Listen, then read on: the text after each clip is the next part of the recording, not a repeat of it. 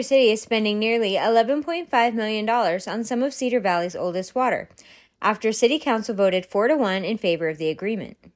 Councilmember Terri Hartley was the lone nay vote, citing concerns about borrowing money to pay for water rights, which could lead the city to raising water rates or sales tax in the future. The city is in the process of bonding for the purchase and at last Wednesday's meeting voted unanimously to limit the water revenue bond to 8.1 million. Read the full article online for more.